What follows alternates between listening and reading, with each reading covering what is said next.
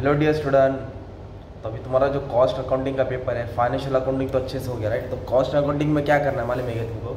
सबसे अच्छे है ना मतलब बीस बीस मार्क के तुमको दो सम कंफर्म आएँगे। एक प्रोसेस का आएगा।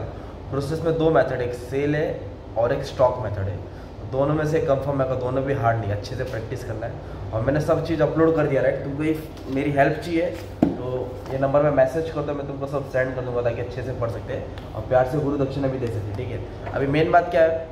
प्रोसेस के बाद कॉन्ट्रैक्ट अकाउंटिंग अगर कुछ कॉन्ट्रैक्ट का समझ में नहीं आया तो पोस्टिंग करेंगे वर्किंग नोट का नाम डालेंगे पोस्टिंग करेंगे ना तो भी बीस में से बारह, तेरह मार्क्स मिल जाएगा तुम्हारा।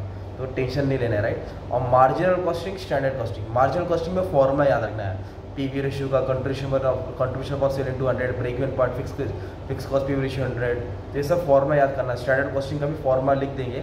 अगर गलत भी आया तो तुम्हारा मार्क्स मिल जाएगा राइट जितना पेपर हार्ड नहीं वाला और फ़र्स्ट चैप्टर स्किप किया तो भी चलेगा।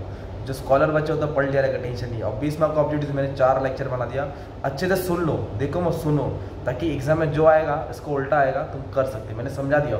ये नहीं तो ये आएगा तो इसका मार्क्स मिलेगा राइट और मेन बात शॉर्ट नोट से contract process okay contract process marginal standard तो अच्छे से मैंने ना क्या बोलते हैं मालूम एकदम शॉर्ट में एक्सप्लेन करा दिया पाँच पाँच छः छः मिनट में। तो सब तुमको लिंक के अंदर मिल जाएगा। और मैंने सेंड कर दिया हो। और ज़्यादा हार्ड नहीं है, बस तुमको ध्यान देना है। एफए हो गया ना, अब कॉस्ट है। अभी मेन कॉस्ट के बाद तुम्हारा इकोनॉमिक्स पेपर है।